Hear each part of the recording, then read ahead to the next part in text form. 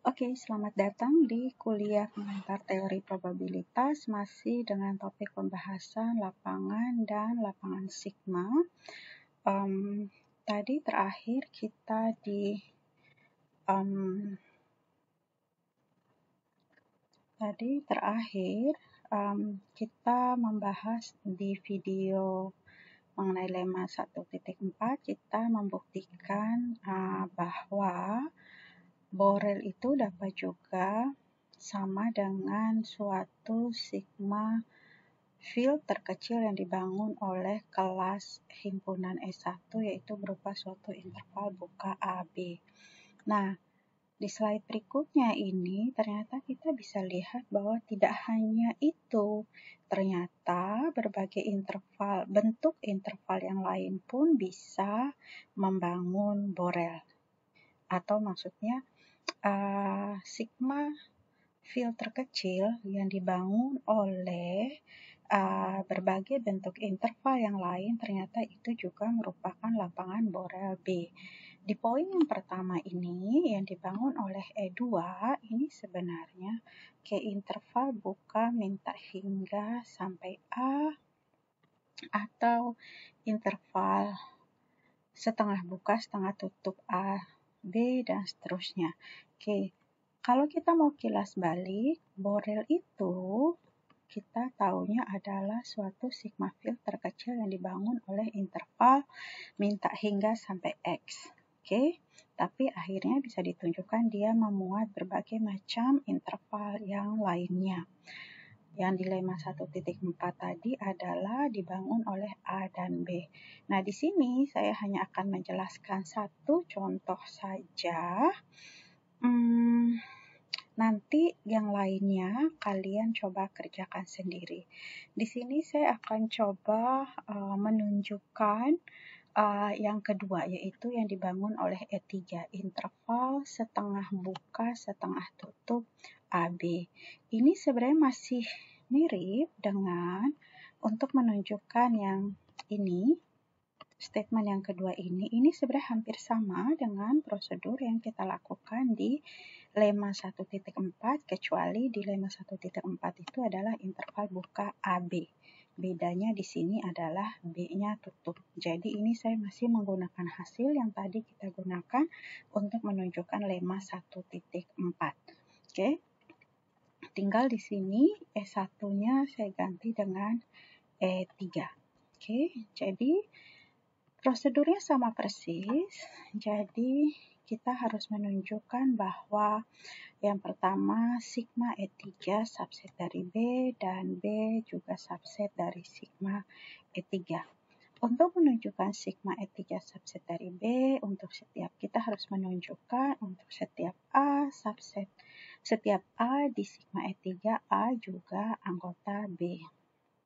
Nah, A yang berada di E3 itu bentuknya adalah interval A, B tertutup di B-nya. Oke, ini bentuk yang ada di E3 sesuai definisi di sini di slide ini. Nah, apakah dia anggota di Borel? Nah, mengacu ke tadi slide di halaman ini slide 30 ini bentuk interval buka A tutup B ini adalah salah satu bentuk yang ada di Borel jadi ini kita tahu bahwa A, B ini itu juga ada di Borel sehingga kita bisa tunjukkan bahwa sigma E3 itu adalah subset dari Borel. Oke. Okay? Kemudian yang langkah sebaliknya, ini kita mau menunjukkan seperti itu, sama juga prosedurnya seperti tadi untuk menunjukkan lemma 1.4. Oke, kemudian karena kita punya E3 adalah suatu sigma field, maka gabungan dari kita lihat tadi E3 bentuknya AB di mana B-nya tutup, gitu ya. Oke. A, B, B-nya tutup, maka kalau dia A, B-nya, kita tadi punya di sini kalau mau lebih lengkap, AB-nya anggota dari hmm, dari si E3 gitu ya. Dari si E3 kita punya gabungan dari AB itu juga ada di E3 yang berarti gabungan dari ini ada di E3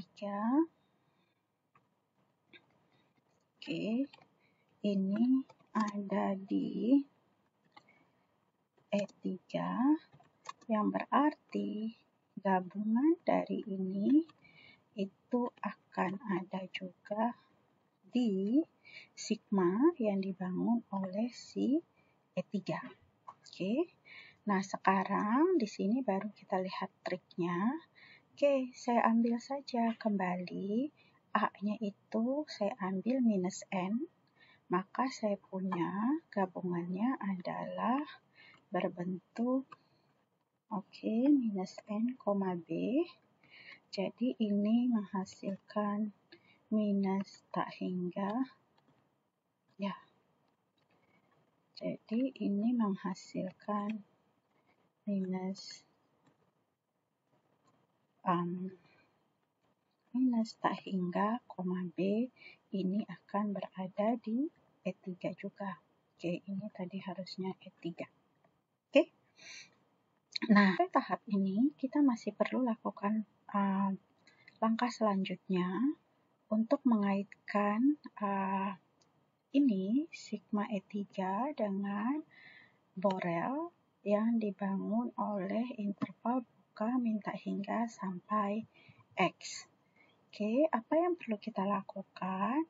Oke, dari langkah yang ini kita dapatkan bahwa minta hingga sampai B itu anggota dari sigma E3.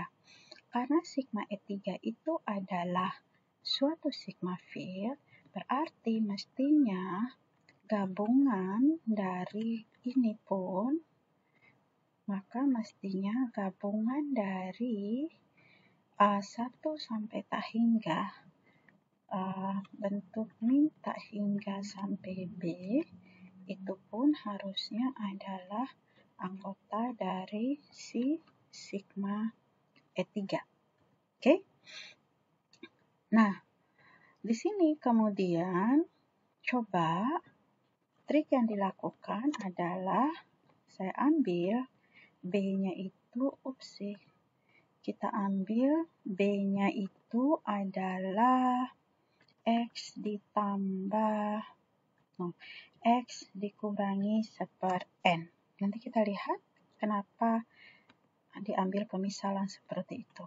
Dengan pemisalan itu, maka bentuk ini dapat kita tuliskan kembali sebagai gabungan minta hingga sampai X dikurang seper N. Tinggal apakah dia juga anggota dari sigma E3 itu yang akan kita lihat. Oke, nah apa hasil gabungan ini? Ups.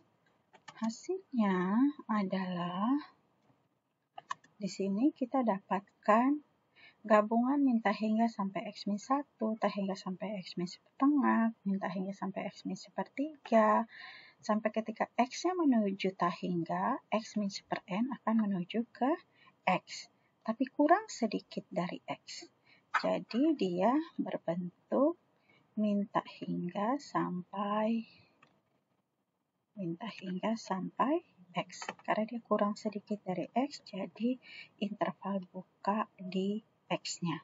Oke, nah ini hasilnya ini dia juga harus merupakan anggota dari sigma E3. Karena tadi sigma E3 itu adalah suatu sigma field.